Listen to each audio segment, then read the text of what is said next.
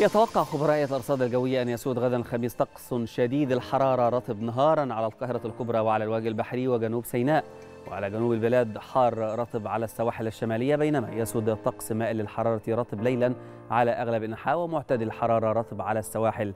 الشمالية. وفيما يلي مشاهدينا الكرام بيان بدرجات الحرارة المتوقعة غدا الخميس. نبدأها من محافظة القاهرة فيها درجة الحرارة العظمى 39 درجة والصغرى 26 والجو فيها حار في الإسكندرية 32 23 والجو فيها حار في مطروح 30 22 والجو فيها حار في بورسعيد 34 25 والجو فيها حار في الإسماعيلية 40 26 والجو فيها شديد الحرارة. أما عن محافظة السويس فدرجة الحرارة العظمى 39 درجة والصغرى 25 والجو في السويس حار وفي العريش 33 23 والجو حار في طابة 38 26 الجو حار.